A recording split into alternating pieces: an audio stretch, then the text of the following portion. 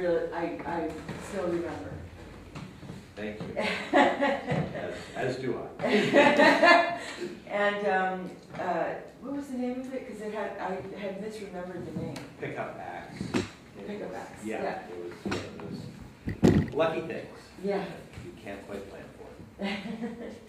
So, um, uh, so it was really exciting to me when Anthony moved back to Berkeley. Somebody alerted me, it- it- not you, yourself, and uh, we had coffee and just have been connecting ever since. And um, so one of the things that I've uh, been thinking about over the last couple of years, and I've encountered in various ways, is is the proactivity of the playwright. You know, of what what is it m- uh, in the, the in the way the, the constellation of the theater sort of hierarchy in this country is such that it's an impenetrable forest, basically. You're competing with, we get 500 scripts a year approximately. I know that the Humana Festival gets about a thousand. So, you know, that is, uh, you know, whenever you have the op- opportunity to submit in an open submission process, your chances of having people read your scripts that are at the upper levels of the theater management are extremely thin to nil, you know? And so, uh, and yet, here you are writing these beautiful works of art, and they deserve to be heard, they deserve to be read, they deserve to be seen. So what's the, what, what do you do, you know? And uh, we've often kind of have these conversations about, and when my, was first the artistic director of Playwrights Foundation, we'd bring in all these literary managers to talk to you, you know, about submissions and how to submit your play and what to put on your cover letter, and, you know, how, what font you should use, and you know, all this kind of stuff, right? And um, uh, but ultimately, the the real answer is, I read your plays, but we pick plays uh, that my artistic director goes to London and sees. Or some artistic director X tells artistic director Y that they have this play that they're going to produce. Do they want to do a co-production? You know, I mean, that's that's that's how much of the work gets produced at sort of the regional theater level. Let's just forget about Broadway and all that, you know. So, um, so I think that's a really dead end conversation, honestly, and that's why I don't want to talk about it. so, uh, you know, I think what's more uh, um, empowering is to say, you know, what is to say, what do I want to do with my work, and how can I proactively gain that traction and, and, and do that. And so that's what I'd like to, you know, help open that dialogue today and help you, and this whole idea of mapping out your own career path and beginning to pursue that and see where that takes you is sort of the, um, the way to go at this point, I feel. And here is someone who did that and can, you know, come back from the, from the war, from the Hundred Year War, and uh, tell us about it. Just a little PTSD. Um, so, Amy gave me a nice segue, as is so often the case, um, to the. I'm going to try to keep actually the war stories to a minimum and focus more on process and and you guys thinking about you and where you are now. But I will say that for me, the in the current phrase, tipping point between being a guy who was writing plays and somebody who really thought of myself as having a career was um, it was a couple of things. One, deciding that I was going to be quitting my day job sometime in the next couple of years. Um, that was one big thing. Immediately, and I will say this, I mean, immediately my writing got better. My writing got more focused because it had a purpose, which was what I was doing every day, getting up, This was how I was going to do this thing, my life.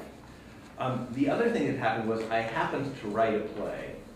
Just in, out of my experience at ID, I had a thing that I had that I realized the Eureka Theater, as it happens, really ought to do.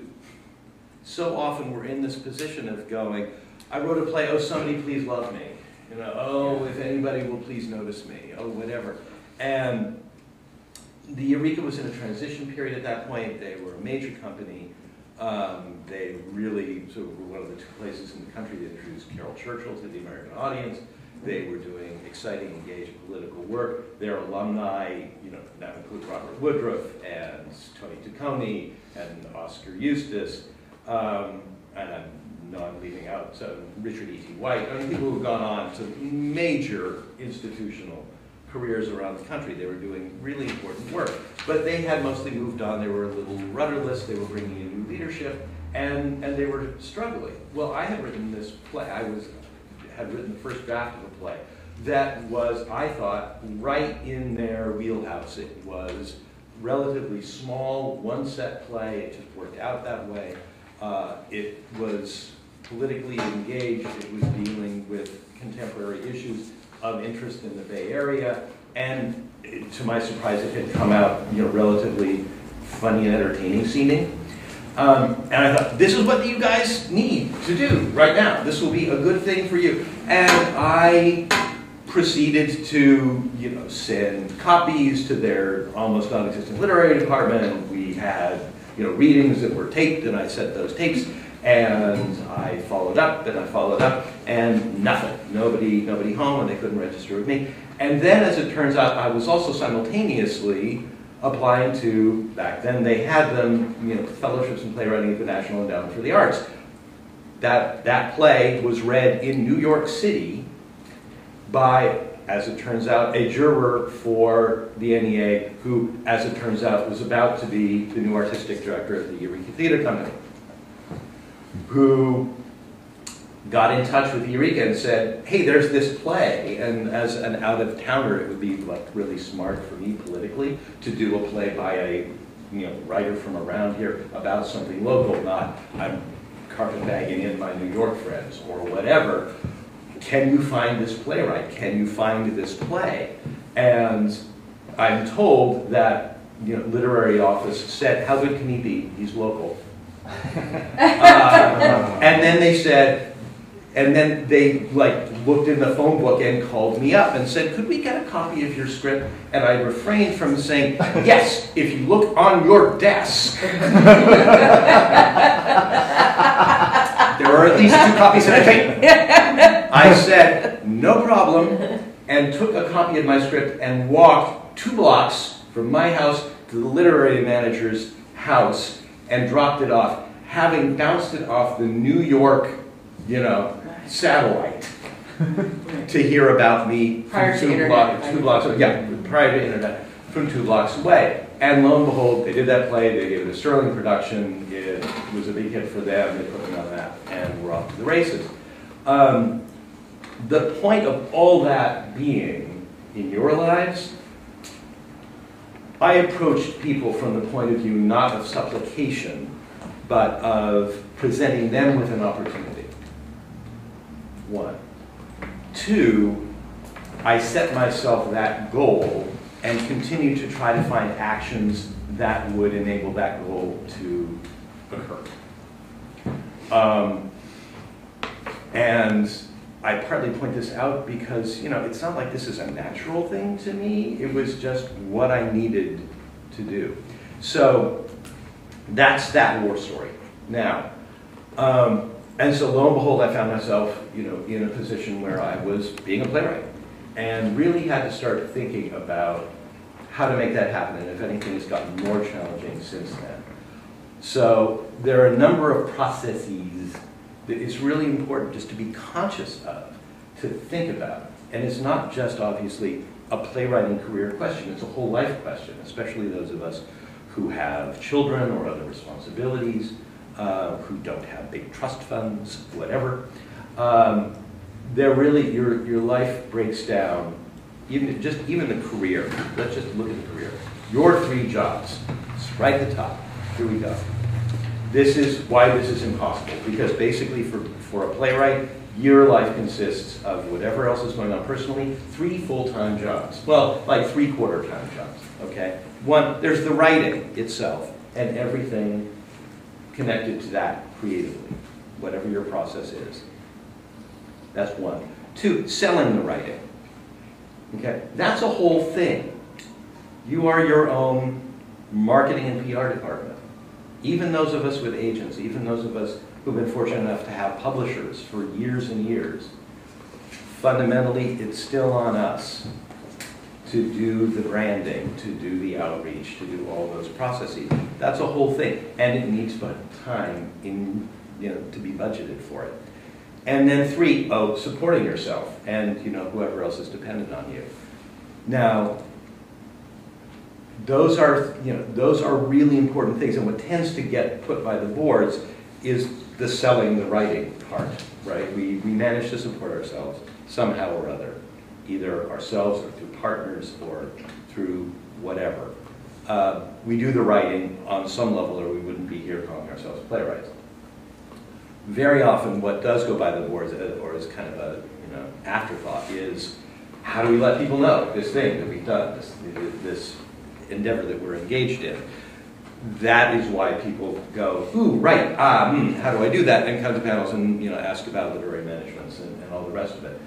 I will get into some of the not nuts and bolts of that, but some of the how you need to live in order to facilitate that as a natural just part of how you are in the world as we move on down. And you guys, I'm sure, will have lots of examples that we can share.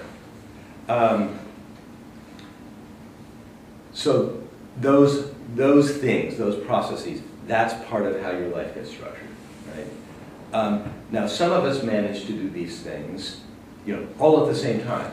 Amazing people who can like do all three of those jobs kind of every day. A lot of us do sort of look ahead and plan and go, okay, if I can support myself, if I can, you know, bank some dough, if I can find somebody to, you know, take the weight of that for a period of time, does that free me up then to concentrate just on the writing? If I know that I'm going to have this writing done by this time, do I then budget the time to focus on, you know, marketing what I've done? If you know in advance, right, of course, here's a deadline. I'm going to have that play done. What's going to happen after that? Well, after that, somebody's going to need to know either you know, people are already working with me on this play. If, You know, if it's a project for the Fringe or the One Acts or the Olympians or any one of the many, many things. Then, you know, the question is, what happens to that piece after that? Do you know? Do you have a plan for what that's going to be? You should. You know, you've, you've devoted the time, you've devoted the talent. What's going to happen to that piece next? If you know that the whole time you're working, somewhere in the back of your mind, then it's not going to come as a surprise to you. Oh, look, I've got a manuscript. Now what do I do? Oh, I had a production. Now what do I do? Um, you've already begun to talk. And one of the things that that will enable you to do while you're writing the project, before the project is being produced, you will already just naturally be telling people, right? Not only this production is coming up, not only just people who might come, but people in your national network who might be interested in taking a look at it later and you're not going from a standing start after you've already written it, they are on some level aware that this is a thing that is coming from you, along with all the many other things that are going on. And, you know, in their lives, it's just part, it becomes part of their, you know, social networking, internet, you know, touching their fingers to the pulse of the American theater environment your upcoming play, right? So that's just always going on. Um, Can I interject? go, here? please. Um, so, uh, in, in terms of what Anthony's talking about, I think, you know, you also, uh, uh, take a look at where you are, where, what, what is your baseline as a writer in terms of your, uh, you know, sort of street cred, you know? Mhm. Do, do have a lot of people seen your work or have, have you had no productions? It doesn't matter, this is not a judgment statement. This isn't actually like, let's take a, you know, a real snapshot of who might know about you. It could just be your parents, your family, and your closest friends who have come to a reading in your living room, you know? Um, and that's fine. And I think that that's where you start. You start where you are, and you reach out to that that group of that group of people. And you, you there's nothing wrong with taking somebody to coffee, you know, who's a friend of a friend of your mother, who knows, you know, someone, you know, in the theater or is works in a theater or, uh, or or. Uh, getting to know, uh, for instance, if that's where you're at, then your job is to get to know a couple of people who are kind of key players in the kind of the small theater community. Why? Not because your play belongs in a small theater, but because those theater you have something to offer those theaters as opposed to them offering you something, although they do have something to offer you, no question. Um, but you actually are in a peer position in that case, if that makes sense. And so you can you can go go to their shows, get to know them. You know, I I'm always, for instance, at the Area Plays Festival. You know, so I know who comes to the festival, and I I love it. I talk to people. People come up to me. We meet. You know, and I get to know folks that way. And then if somebody calls me after the festival and says can I take you out for coffee? It's like, yes, absolutely. I know who this person is, you know, and I'm, I'm more likely to make room in my schedule, not because I won't make room in my schedule for a stranger, but just because I know them and, I, and they've come and invested themselves in what we're doing. You know, so there's sort of, there's sort of this relationship that started. And um, then you say, you know, I'm working, and then you launch it, I'm working on this play that I think you might be interested in. This is my pitch. So part of preparing is, think, and I love the way Anthony um, is phrasing this, which is that it's kind of percolating in the back of your mind as opposed to, well, what's my marketing elevator speech going to be on this play, you know? But it's something percolating, and then you can kind of naturally move to that level. It doesn't have to be exact. You're probably hone it as you go along, you know. But get started with that by just telling someone about what you're working on. But you don't have to you don't have to be Anthony Clarvoe, I think is my point right now, to do this. So he can call, you know, Loretta Greco at the Magic Theater, or, you know, Tony, or some other people and say, I've got this idea percolating. It doesn't have to be at that level in order to begin this process. Good. All right. Good. So, yeah, that, I mean, Amy just ran through a number of things that will be you know, also parsing out, I think, in, in more detail. That's okay. So, skipping ahead to, yeah, okay, fine. Further down the page, three sets of people you need to get to know. Um, and I'll just say parenthetically, right? I mean, I love the theater. I partly went into writing because it's the part that has the most privacy. I'm not actually necessarily somebody who wants to be out there, you know, in people's face and vice versa all the time. Um, and I think it's easy as writers to go, yeah, I'm, I'm kind of shy, I'm quiet, I sit at home, I do my thing, I put it out there, my work speaks for me. You know, and that's really great if maybe you're you know, a poet. Um, but we are in a very collaborative, very public medium here. Uh, we are about creating blueprints for public events. And the extent to which you can acknowledge that and embrace that reality, um, you know, you just you put yourself in a really much stronger position. Uh, so that means that you are part of a community. You are part of several different communities and it's important to be aware of what those are and who else is in them and what else they're doing and you know, what your place is in it. So those three, just you, know, you should know your fellow writers, right? Not only locally, but nationally. What are they doing?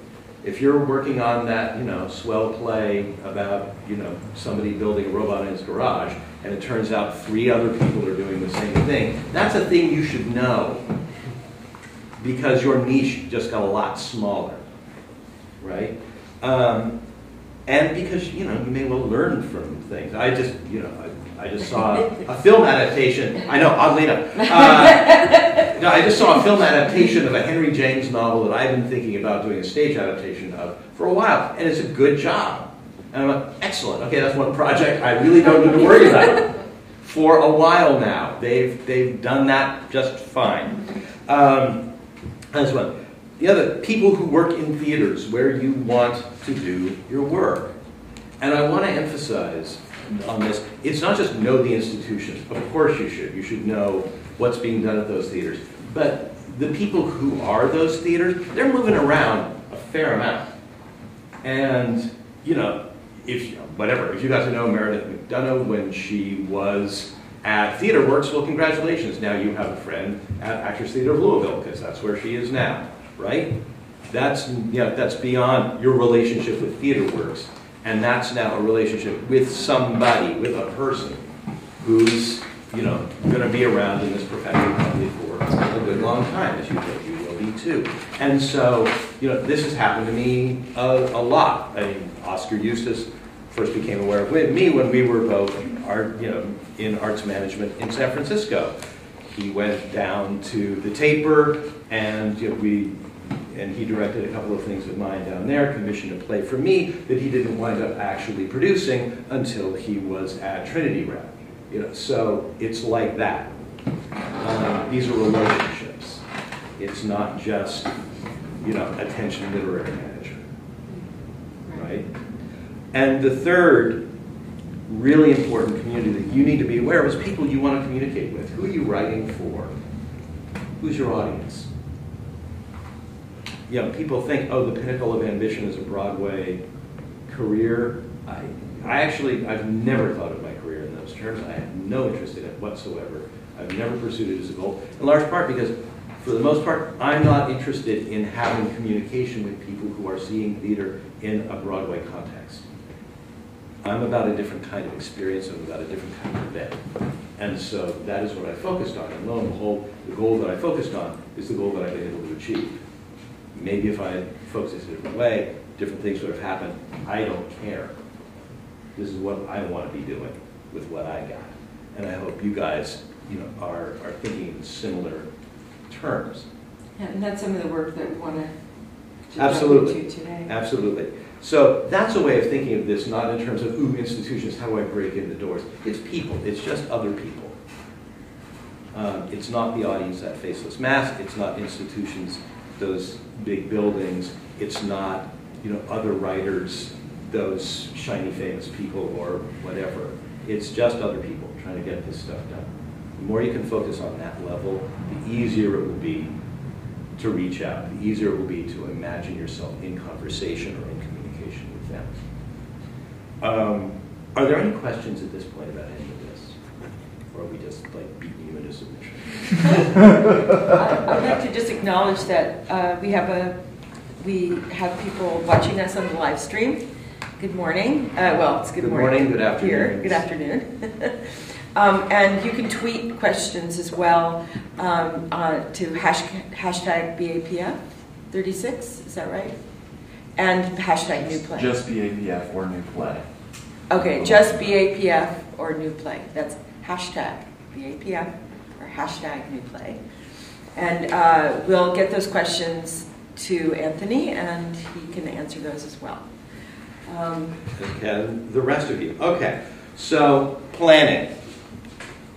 Ostensibly the purpose of the morning. Um, a lot of this really is about telling us, we're narrative writers, right, on some level. This is about telling a story about your life and who you are. And we'll get to this. A lot of the questions about planning, about career, are on some fundamental level dramaturgical questions, actually. Um, so you, you are better poised than you know to tackle these issues. Um, to start with, there are three basic kinds of planning that it's worth considering. And different ones may feel like a better match for you and, and what you want. So let's go through the three. One is thinking about planning in terms of goals, i.e., where and how do you want to be working? So this is a lifestyle question. What kind of life do you want to have? Who are you working with? What kind of working day are you? Are you facing like screaming pressure to, you know, write your chunk of that, you know, sitcom episode? Are you going and doing, you know, developmental exploration in some site-specific spot with, you know, a, a really interesting ensemble of movement artists? I think that's pretty much the two ends of the spectrum of the career as a dramatic writer. Um, know that. And that way, for one thing, it lets you out of a whole lot of pressure to be something you, you're not, don't want to be and have not equipped yourself for. Like, you know, I never wake up in the morning going, how is, you know, how are my punchlines coming for that Simpsons episode? Because that's not my world, right? Um, and you should just let yourself off the hook of all the stuff that's not part of your story. Um, so that's one, those goals. Another is ages. Just, uh, you know, uh, what do you want to be doing by the time you reach your next milestone? Um, you know, this is really a life story question. You know, by the time I'm this, I will have done that. I don't want to be in my whatever. For, I mean, for me, it was I don't want to be in my 30s and not have had a play produced. That's not a story I want to tell about myself. So, what do I do to prevent that from happening? So that's another. And the final one to think about is, is thinking in terms of projects. What do you want to get done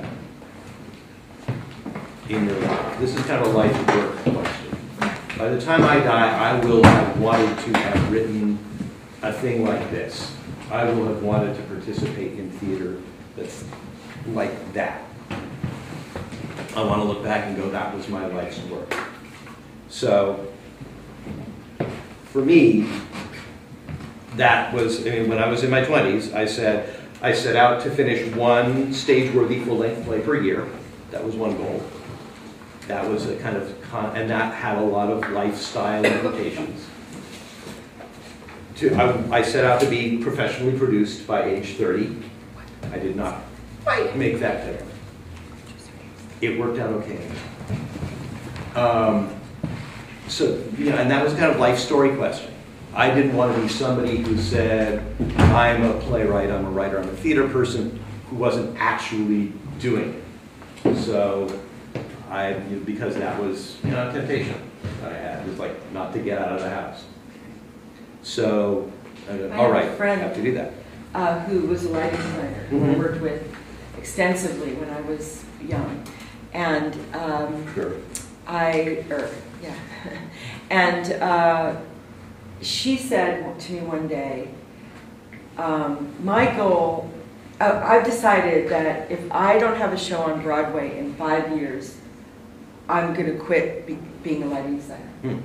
And in that absolute instant, Mhm. I knew that she was going to quit Being a lighting designer. being a lighting designer Mhm. because it was an impossible goal. Not, not to say that that she couldn't have gotten there because she was very talented and ambitious, but it just seemed that that was such a big, you know, statement to make, you know. Mm-hmm. And so I, learned a lot from that moment, That's great. you know. Yeah, absolutely. And, and, and the last thing was, along the line of what's the scale of the ambition, I set out to write the plays that interested me and work on them with artists I respect.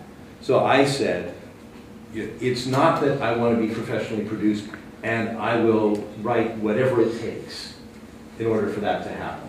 I'm not going to become a hack in order to do this. If I can't, I mean, which for me would mean you know, not expressing myself, not writing what I know, not writing in a way that I would want to see as an audience member. You know, I'm not going to try to spend all my time figuring out what they might want and giving it to them. I'm going to try to figure out how to do the best my writing I can and imagine myself watching it and being, you know, moved and thought provoked and, and entertained. And, you know, and wherever institutionally or wherever collaboratively that places me, that's where I want to be. As it turned out, you know, that's put me at different places in different times in, you know, the cultural history of my generation. Sometimes that's meant I've been on, you know, off Broadway and more main stages, and sometimes it's meant I've been, you know, working with that interesting ensemble of movement artists on that development work, you know, somewhere pretty private. Um, fine. Uh, that works for me. Other people, yeah, it's more of a, it's got to be whatever it is. Because I mean, that's what you want. That's what entertains you, and that's that's what you see as, as a valid thing. Great, just so you know. For yourself. Amy Freed told me a few years ago that, uh, you know, and this is obviously after she had already had quite a number of productions done at Woolly Mammoth and other sort of edgy theater companies around the country. She said, you know, I knew it was time for me to, to, to write a play that was going to get me on the LORT stage. And so I decided to write The Beard of Avon because that was going to be my LORT calling card. And what's hilarious, of course, is now Woolly Mammoth is a LORT Theater, so if she just Yeah. stayed right there, she'd have been fine. Um, but yeah, absolutely. Yeah, and I had the same thing. I was very lucky and got on LORT stages very early in my career, but it was always second stages.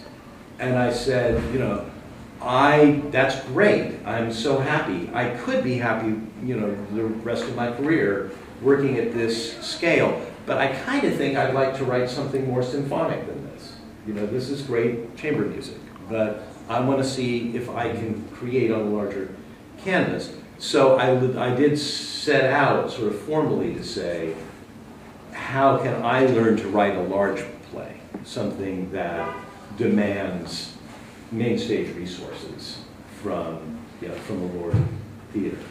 Um, what kind of thing is going to attract their attention? How is that going to do? And I realized pretty quickly the way at that time and at that place for you know, a relatively unknown, known to the field, but you know, not like my name was ever something that was going to sell tickets.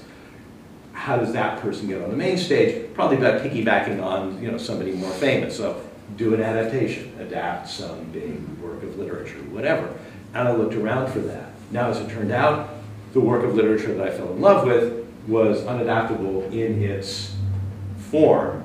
Um, and so I just was inspired by that, wrote a great big play, um, inspired by the same source that it was inspired by. And lo and behold, that got me, in, somewhat inadvertently, onto the main stages of a great many LORTs. Uh, there's a play called The Living, and you can read it in American Theater Magazine if you keep that many back issues. Um, um, and then, lo and behold, having made those contacts, having those relationships, I was able to say to three of those places, I do want to actually do an adaptation of this. Will you commission it from me? And they said yes, and I went forward with that, and that was the Brothers Karamazov, which you know has also gotten around some. Um, and you know, but that not only expressed some, it's Brothers Karamazov is probably my most autobiographical play. Uh, it also fulfilled that formal project of can I write big, and it fulfilled that career function of yeah, I want to be working at that level. I want I want that kind of visibility. So you know these if you plan these goals and if you plan them with these several strands in mind, you know remarkable stuff can take place, but it doesn't happen without you planning. And and even as with the living, if you have a plan and something else happens, it just seems to have more purpose and more direction than if it didn't. There's an old saying like, you know, plan better than no plan. Uh, yeah, with a little greater than sign, you know, like plan, this, me, no plan. Um, there is something about It sounds like a tweet to me. doesn't it? Yeah, the- the- from before tweets. Like, I think they were carving that in walls. Um, in like Times Old Roman. Um, speaking of fonts. Um, Julius Caesar says, plan greater than no plan. Uh, there is something that directed, ambitious professionals respond to in writing that feels purposive.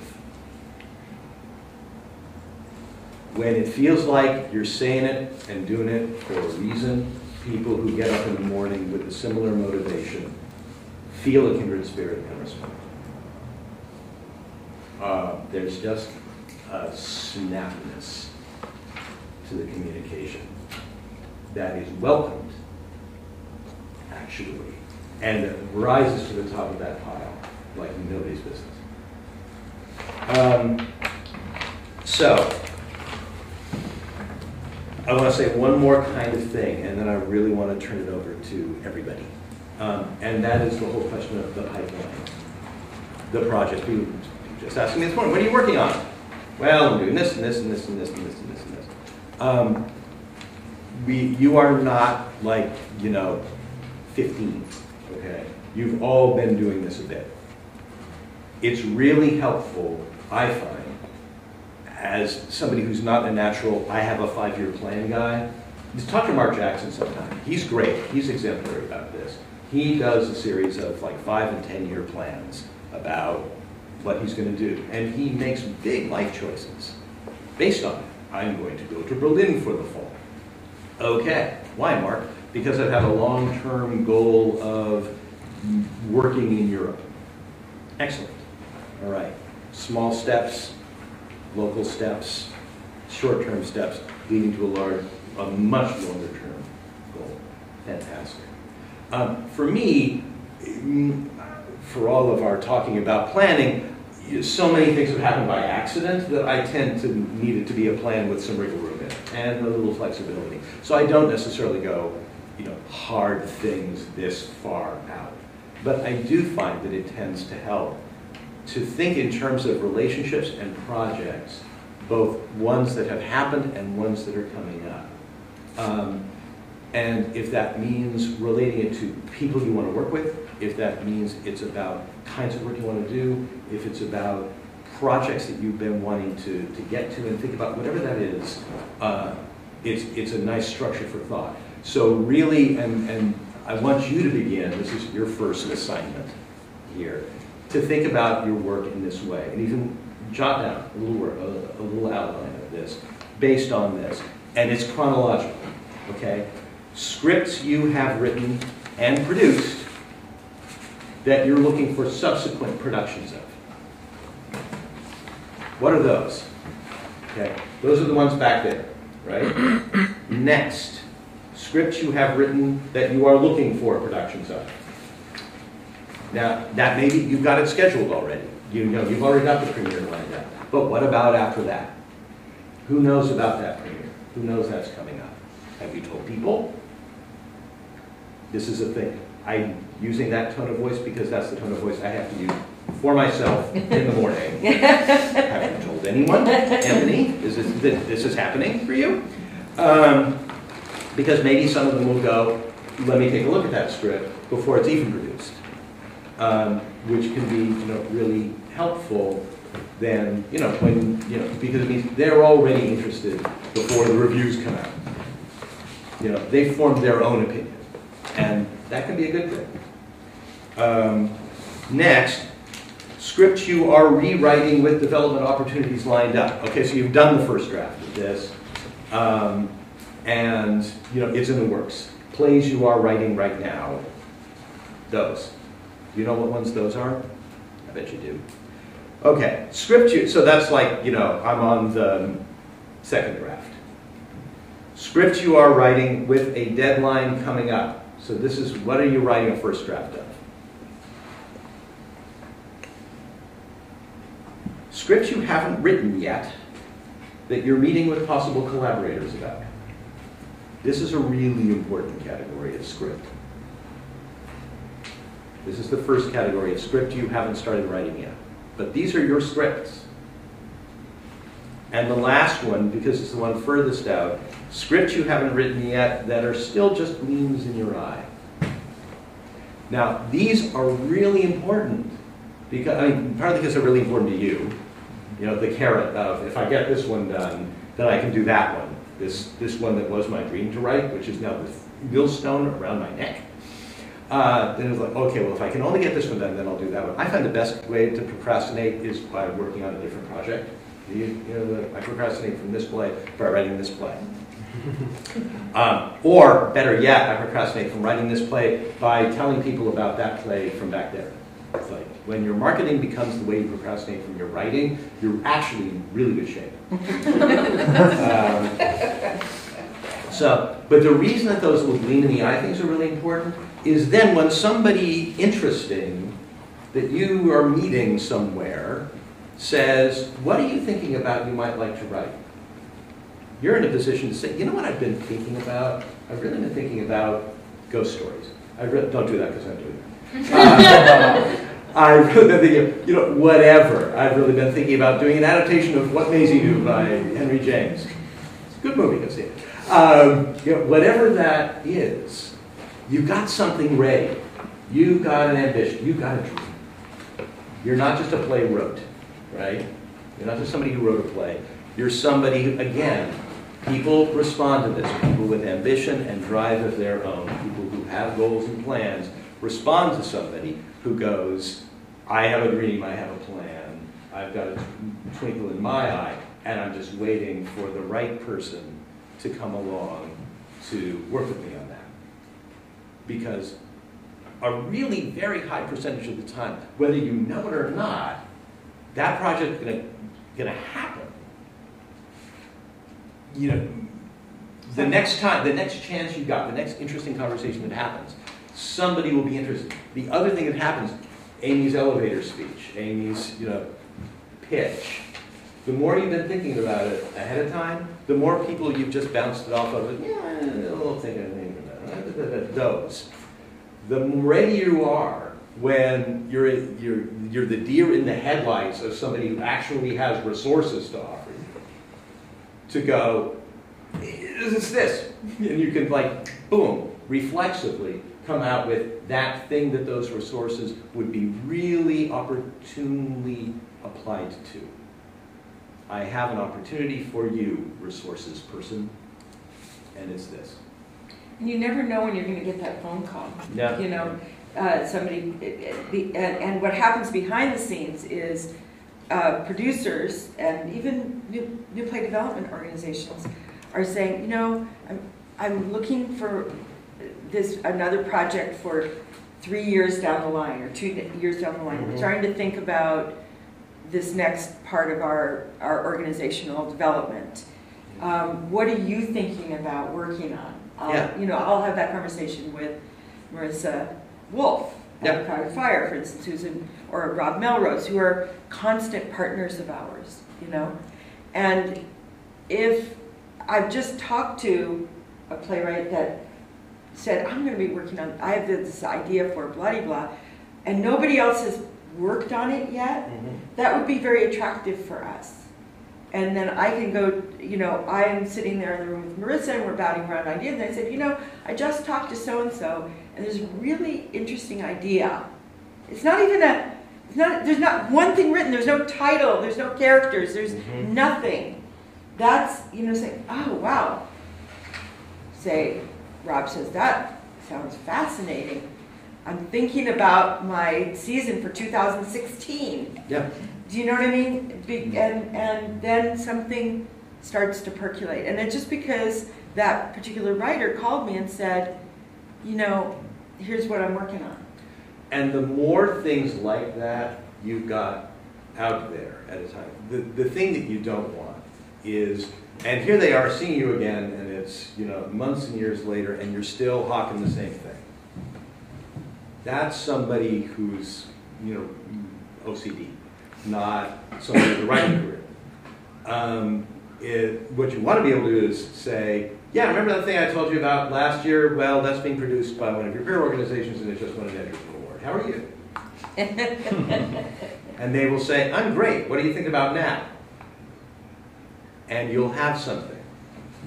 And preferably, it will be something that you are already working on with somebody else. But there's this other thing that you haven't found a partner for yet.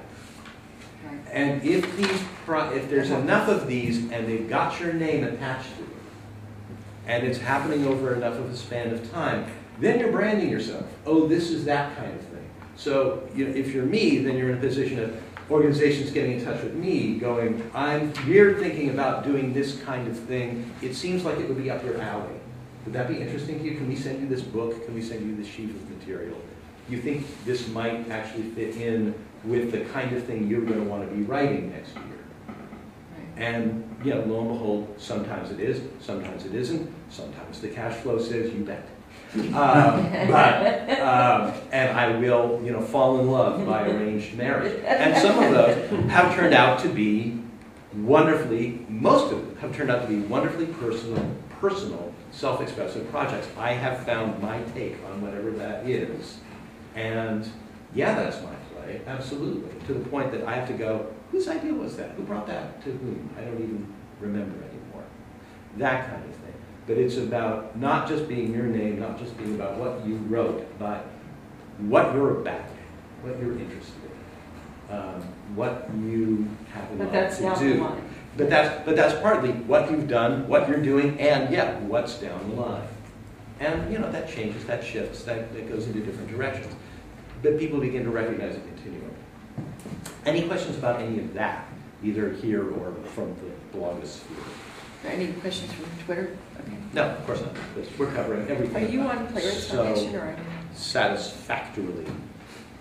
Good. I, I, could I just respond to this, Anthony? I Yeah. just want to thank, I want to thank you for all of this and thank Amy for this whole forum. But this is really nice because what I tend to do is I have a list of, well, I have this, I can work on this, I can work on this, I can work on this, I can work on. I mean, in actual projects, Mhm. some that I've written, and I go, well, which one should I do? Uh, I don't know, this one. Right. Ra- rather than thinking, okay, this is what needs to happen with this one next. Yeah. So this is great. Thank you. Good. Yeah, it's, it's, it's great to have an order of priorities.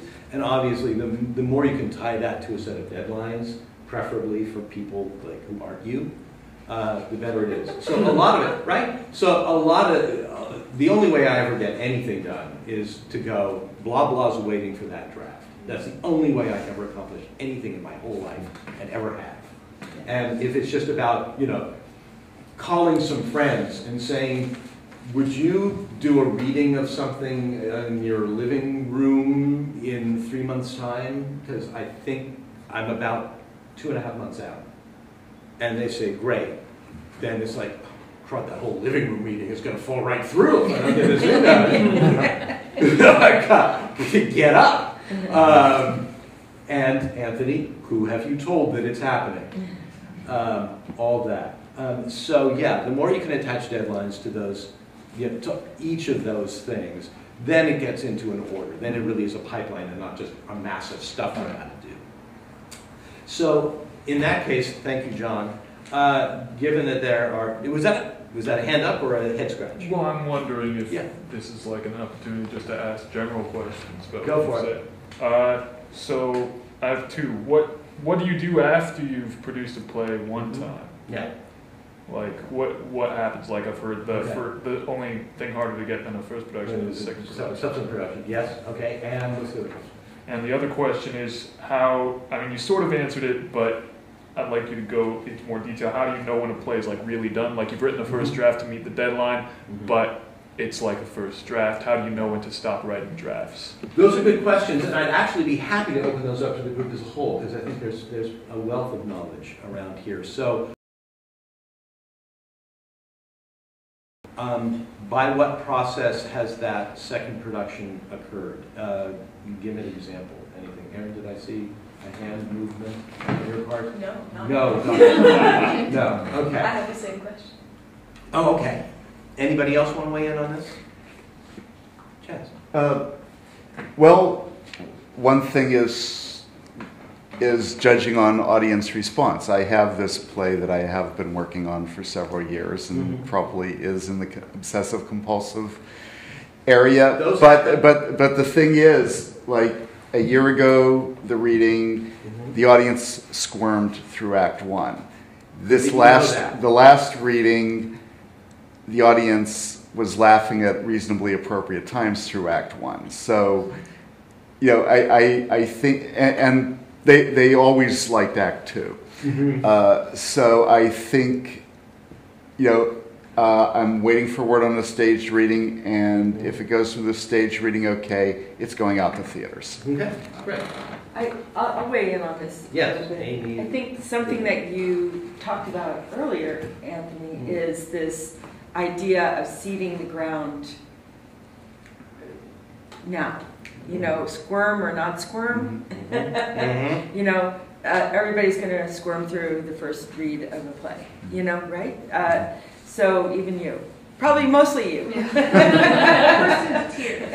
yeah, or that. You know. Mhm. Um, you, I mean, depending on the kind of writer you are, we'll, we'll say that. But, but I think that having it in the back of your mind that the end all be all is not the first production, but, but how, you know, sort of the, the length of a career, that you're, you're constantly, you're constantly got the ball in play. You know, this is the project I'm working on. I'm looking at doing a reading of it next year. It's in the pipeline. I've got this other project that I'm thinking about, but I haven't written it yet. That what, what exactly Anthony was talking about when you have an opportunity to talk to people who are in position to produce your work. If you know, if they say, "Well, do you have a production scheduled?" You can just say you're working on it. Mhm. You know, um, I think that waiting until the production is already up and the reviews come out or whatever it is that's going to happen is almost Too late. it's almost too late. Yeah. Um, And heaven knows we've all done it. I, I, Sure. cer- I, I certainly have. I was like, well, I'm going to see how that goes. So one, one answer to that question is if you're looking for the production after the first production, that presupposes that you are thinking nationally. Because obviously you're not going to have a second, for the most part. I mean, it does happen, but you're not going to have a second production, you know, immediately following a first production in the same community as the first production. You're looking for, okay, that was the Bay Area production. Now, do they know about me in Seattle, Chicago, Minneapolis, New York, uh, Los Angeles, Atlanta, Washington D.C., the greater Boston area? Um, who do I know there? Who is in a position to either do things with new plays or talk to people who are in a position to do things with new plays, whatever that may be. That may be a living room reading in Denver. That may be, you know, something at a new play development organization like the Playwrights Foundation. There's nobody like the Playwrights Foundation. no, you know, are. your peer organization. You know, the the Lark, well, you know, whatever, the Playwright Center, the, you know, and so on. Um, you know, in somewhere else, is that, you know, uh, someplace in the National New Play Network or whatever. What's, you, what are you thinking nationally? That, that, that's great if you're thinking that way, but know that that implies something beyond your immediate vicinity. That implies that you are thinking as a member of the national Right. new play community. And all the work that you're doing here to get to know people has to be done in those various places. So it, it, it might be too much to bite off for your first production. And there, but there, right, the other thing, happens, if that first production by You, the Unknown does go well, and there are nice blurbs, obviously that makes it a lot easier to Yeah. put the word out. I'm not the best person to talk about this because I got preposterously lucky first time out. I'm still learning how to do this, given the resources available to playwrights in the world of new plays today, as opposed to when I started.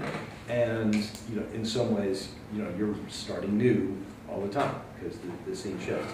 So there are various nuts and bolts ways to do that. That lies outside the you know, scope of what we're going to do today. But know that that's the level that, that you're talking about, and, and it is doable. So that was one question. The other one oh, was when do you know that it's ready?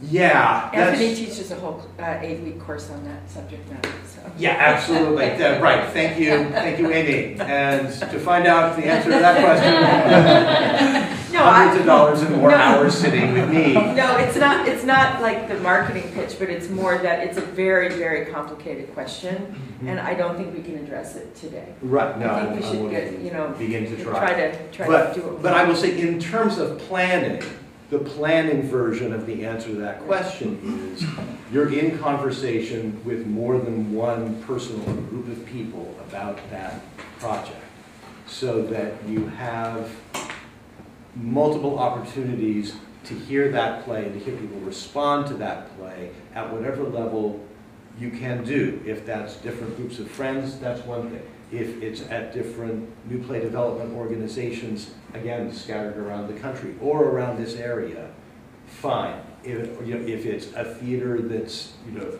expressed an interest in your work before, either because you all went to college together or because you managed to break into their lit office and leave a script on the desk, whatever it was, uh, then, you know, then you have multiple opportunities, yeah, to gauge how interested people. Um, so that, in a large, broad way. So is- it's, it's more like getting it heard as much times as possible. As many times in as, as many different contexts and generating as As much needed. conversation uh, about it as needed and as possible. Yeah. Absolutely. So, yeah, Can I ask an etiquette question? sure. Um, for other kinds of writing, you send it out to one person and you wait. Yes. No, sometimes not- a year. Yes, not, not here. Not You us. send you send it out, and then you then if a lot of people come back and say I want to produce it, then you deal with the Yeah, traffic issue. yeah, Yeah. yes, love you it. do.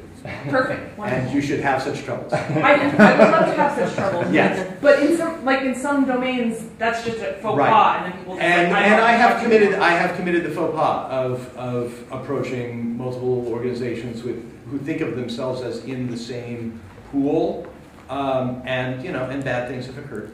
Or Um, we've had to work it we, we've And had to work, work it out, and you you be contrite and bring people coffee. Absolutely, But yeah, what's, Okay. a- along with Julius's, you know, plan better than no plan, I think is, you know, better to apologize afterward than, you know, than Never get sent. permission up front. Yeah.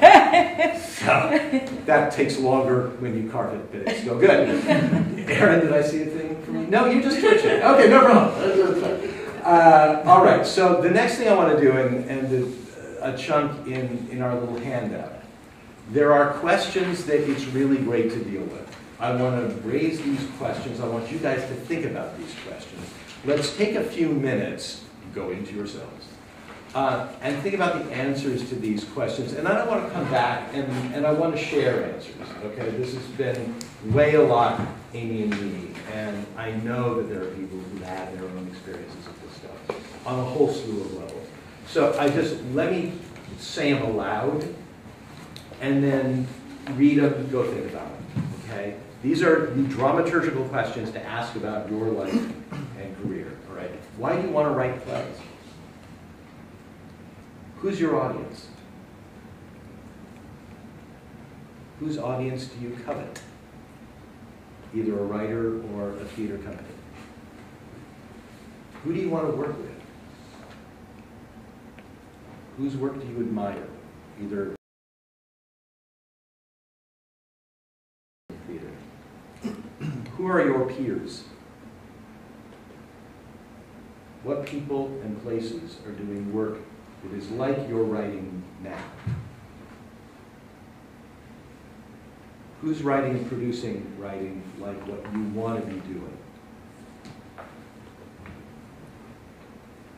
What resources do you have?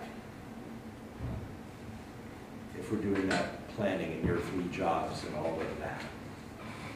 What do you already have going for you? Who loves and supports you? And who owes you? Who have you been loving and supporting? And really, it's your turn.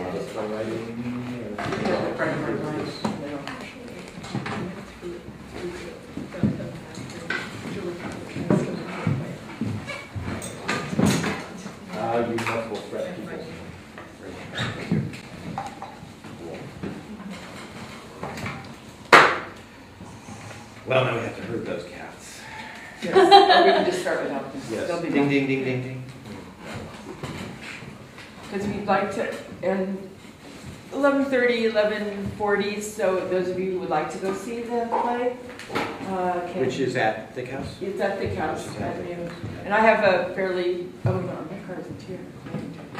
So I'm gonna need to write a I can give you a- My family is expecting uh, to attend an event or two at the Berry Flowers. Really cooking there.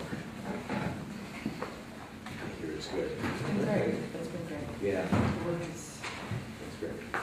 I'm going to say we're basically back except for John, who's heard lots of me over the years. Um, okay, so how did that go? Who's got a, a, an answer to a question or a burning question that needs answering? Somebody start us off.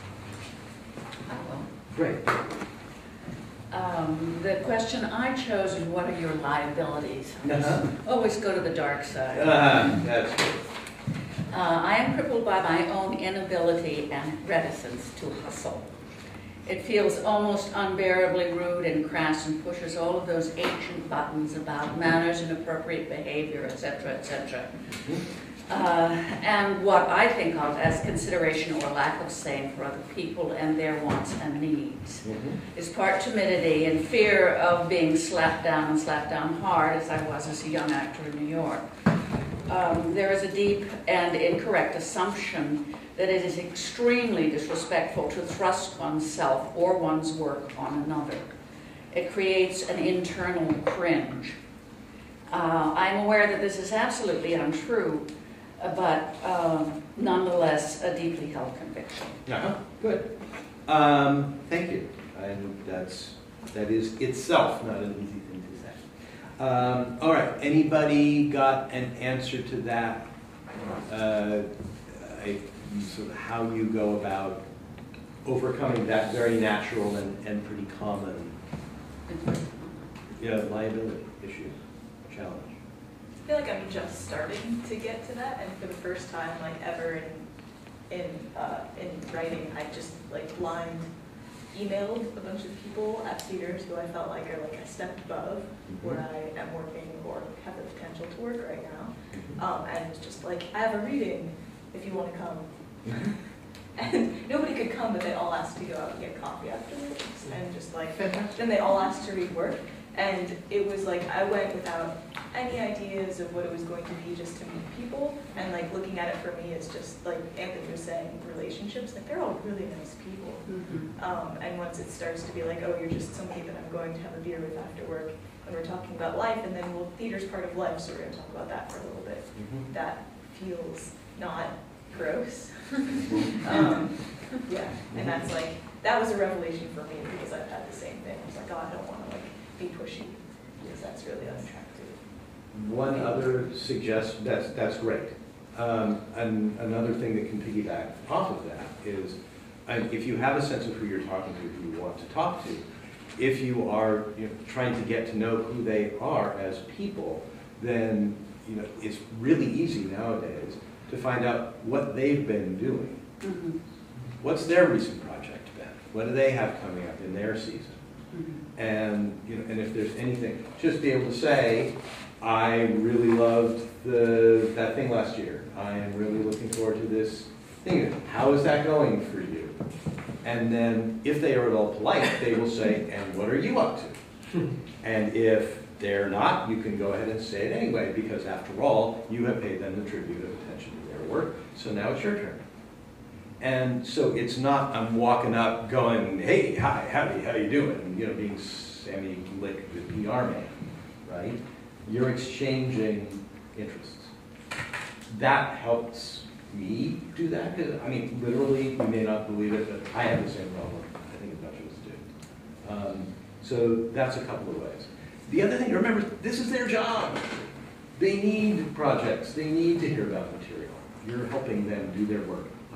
Um, I was gonna also say getting involved in the theaters is really helpful. I've done a lot of that where like for last year for Olympians, I helped them with their box office for a couple nights. And then I got to meet all of them. And then when I sent in a proposal to Stuart, I was like, oh, you know me. So I didn't have to introduce myself.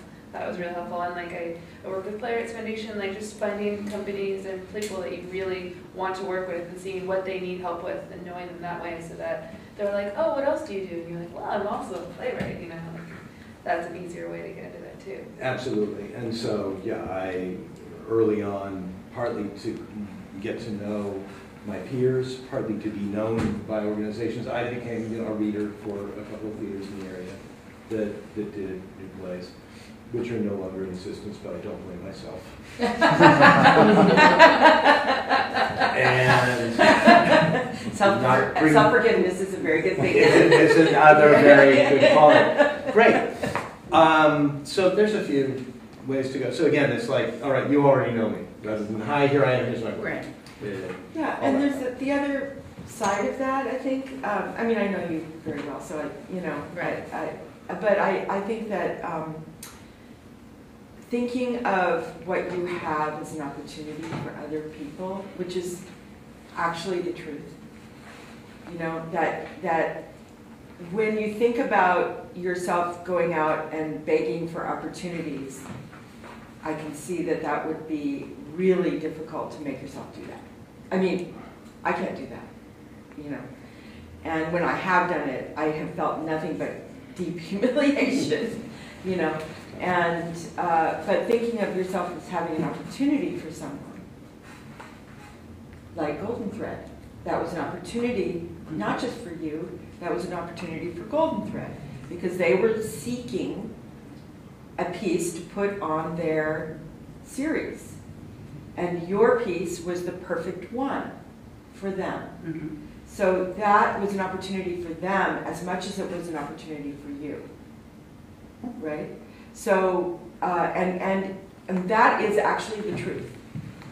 You know, it's, it's hard to, maybe hard to accept that, but it is the truth. And so finding the right match and saying, you know, I have this play that I think would be great for your audiences, that it's right up your company's alley. It's where your sweet spot is, Mhm. can be a very good opener. Where you're not in a position of saying, please read my play, please tell me something nice, please, you know. you know. And it also suggests that you have gotten to know them, again, that, Right. the, the reciprocity uh, of saying, Mhm. you know, I paid attention to your work, I respect your work. It's not just, please, anybody love me. Right. It's, I think you and I Yeah, yeah. would be a great Yeah, team. yeah. Um, Another question, another response. That was great, thank you.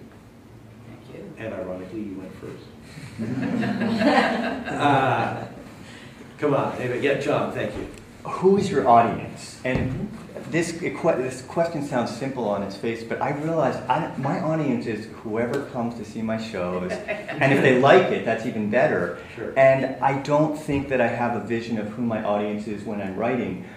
I've heard that, of course, you shouldn't write to a perceived audience, and I agree with that. You know, not try to write the hot new play or that the au courant. Write what's really coming from you. But this is a collaborative art also with the audience. I think we forget the audience is there. So I think I need a better grasp of who my audience is for my work, mm-hmm. and I don't know. Okay. That is a- such a good question. Yeah. So any thoughts about that? Anybody figured that out? Did you ever have an epiphany of going, ah, I've actually communicated with somebody? You know, again, in a living room, in a reading, in a full production, do you go, ooh, can I take you all home with me? And just have you sit there while I work? This happened to me last night, actually, at, at, at the festival. Because I've, I've written a play that, to me, it's not a sad play. Mm. Um, but I, to a lot of people who come to it are really sad and moved by the end of it. And I had a couple people, which I think is really interesting because that's not how I wrote it in my Mhm. head, but it's um, it's such an open play in a lot of ways that people are able to bring a lot of wherever they're coming from to it. Because it's about living and dying and remembering Mhm. um, like pretty universal things. And I had two people come up to me from very different points of view. One who was a Zen and was like, I brought my Zen group here because this is exactly what we're trying to do is we're trying to let go of everything. So this is the perfect Zen play. And then I had somebody else come to me who works with people in hospice um, who have been really ill and are now getting better. And they're like, this is a perfect play for people who are just dealing with dying all the time and thinking about it and have like been at the verge of it but now have recovered Mhm. and what do you do with that? And so it was just kind of like two very specific groups that I didn't write for, Mhm. but came to it really strongly. Mhm. But, I mean, you would take away from that the notion that, I mean, I would, that, okay, clearly my audience is people who want occasions to contemplate different questions. Yeah, that's a very smart way of looking So, Thank Way to go. You've got, no problem. But Um, Aaron, did you have an audience in mind when you were writing that play? No, You didn't have any? No. Okay. I mean, I mean, And that worked fine for you. I mean, not Yeah. explicitly I- but I also think there's another part to the question, which is that I wouldn't say that that play um, automatically would appeal to a very wide mainstream audience, Right, right?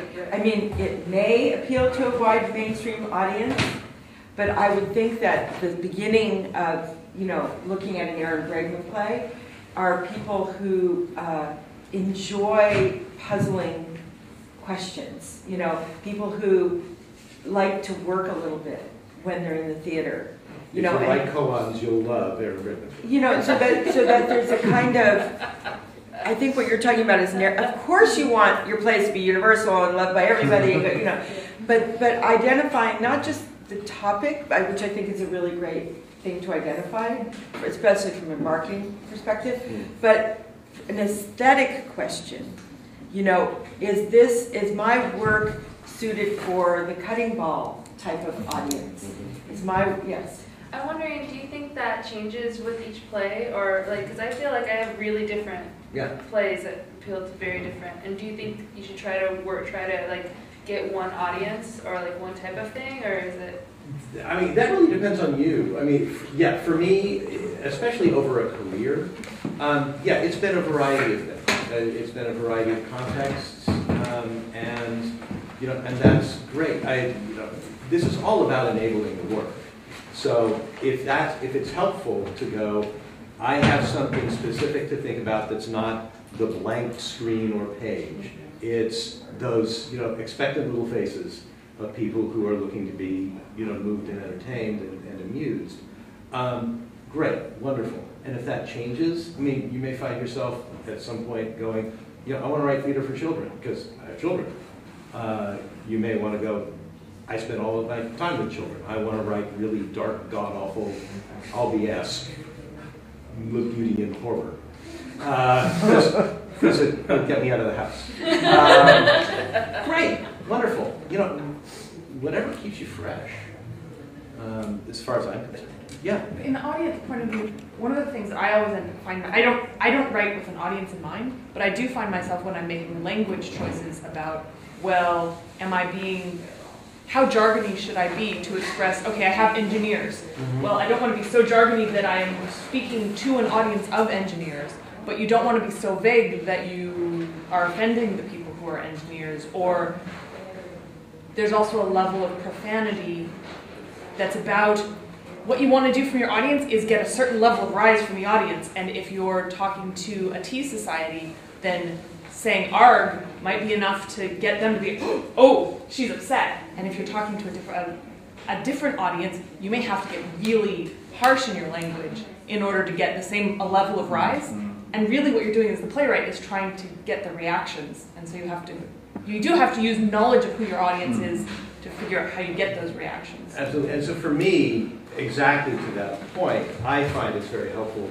to, A, have seen a lot of theater with a lot of different kinds of audiences, and go, you know, what kind of experience would I want to be um, an active part of? What kind of, you know, what kind of audience event would I like to be facilitating? because I didn't grow up in the Philippines. Right.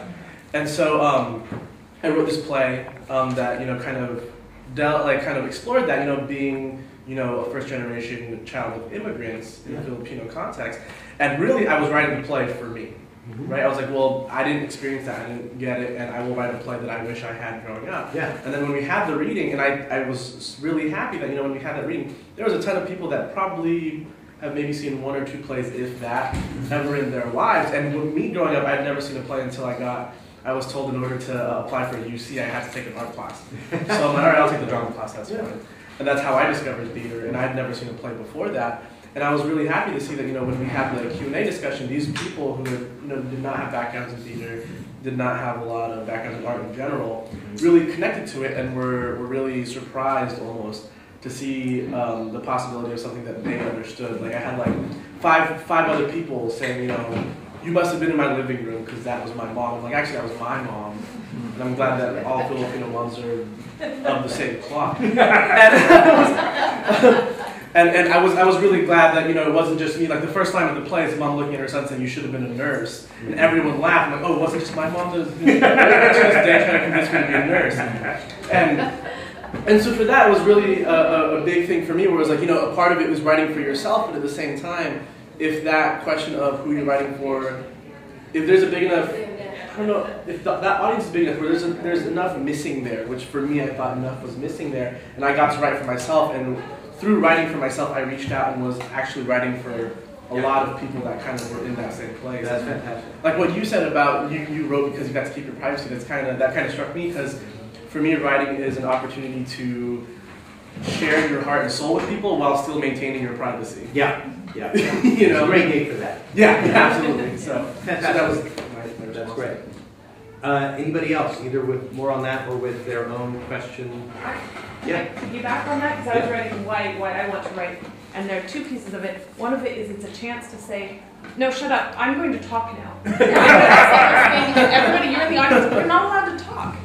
Yeah. And yet, I get a filter of the collaborators in doing that. Yeah. And you can't, other kinds of writing, you can write and write and write. You never see what the audience, you don't, you can't sit in the room with someone while they read your book. Yeah.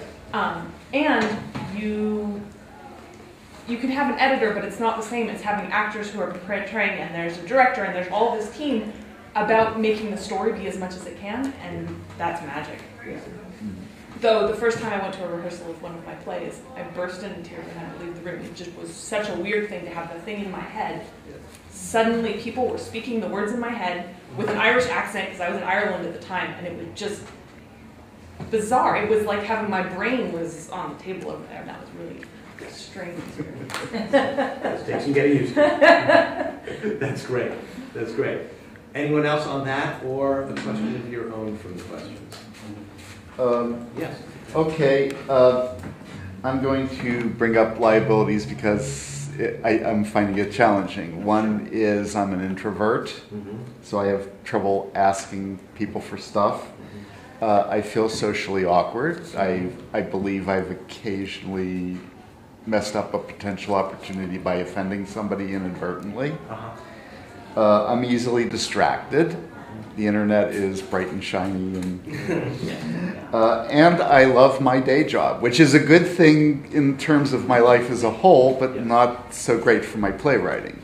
Yes. And, and and my day job does involve being creative and finding creative solutions to problems and things like that. So, so uh, a lot of my creativity needs are being met through my day job.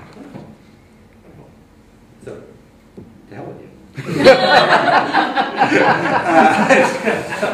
the rest of us are suffering. Uh, so that's wonderful. I mean, those. I, anybody else want to weigh in? But those sound like so many of them not liabilities. Um, Yeah, I'd say the big ones are the social introvert. awkwardness and introversion. Sure, absolutely. Um, so anybody, so so a few of us have had that experience, right? So, and I, I mean, I would say, sort of in response to that, and, and you're hearing that, one of the the best things that I've found, and maybe other people can weigh in on this, around the whole question of how to deal with the terror that is free range socialization, Mhm. um, is if you are involved in a theater group or a theater community where you have something specific that you are doing. Um, that gives you a reason to be where you're at, that gives you specific things to talk about that aren't you, that gives you a structure for social interactions. And, and I have certainly found in my life that that has been um, a great comfort as opposed to, I'm going to just, I mean, the social equivalent of that blank sheet of paper, that blank screen is going, I have to walk up and start a conversation with a total stranger cold. Oh my goodness. There are people who can do that. They are superheroes. Um, most of us, it helps to have a context. And if you've got, you know, the working relationship, if you're volunteering somewhere, if you're, you know, participating on that reading committee, if you're, you know, doing whatever on the board, you know, of, of an organization, given that you have a successful creative day job. Uh, why are you not, you know, funding us? Um, um, that really helps a lot. And then, as Rachel and other people were saying, you're in a position to say, and I write plays too, right? Right. And I think, I mean, just to give you some personal feedback, you know, you've been coming to the festival for several years, right? And so I've gotten a chance to get to know you. Mhm. And so uh, any kind of awkwardness or whatever has kind of just got to the back, back seat. Mhm. So, you know what I mean? Because I, I, I know that, I can tell that you're a little shy. Mhm. You know, you know what I mean? And so it's Sure. totally fine with me because I, I know that about you. You know, and I'm always happy, you know. Yeah. Aside from the satisfying, uh, by the way, I just want to also Thank you for say, saying that. Yeah. in the context of this, aside from the satisfying and creative day job part of your self description, Mhm. have you met Edward Albee ever? I have never. Hi, come around. That's all I'm going to say. All right, other things. I think we have two minutes, be- uh, otherwise we're going to be late for the show. Okay, well, let's add one last thing. Anybody? I'm going to say one last thing. Great. I think Thank right in the one minute you have left, Hmm. in the one minute that you have left, and that, that means you have to improvise.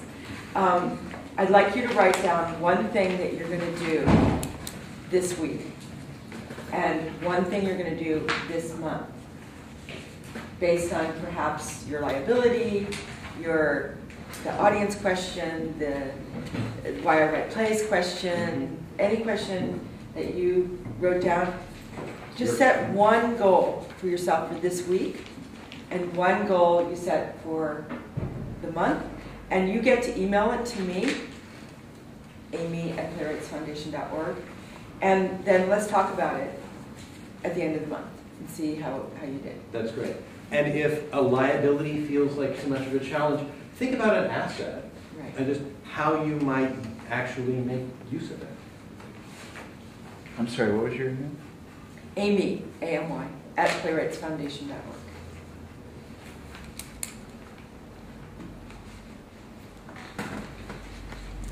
And you Thank too, participating at home, can do this as well. Thank you for joining us. I think we're going to end and move over to the Bay Area Playwrights Festival. Thank you. Thanks so much, everybody. Thank you. Thank you.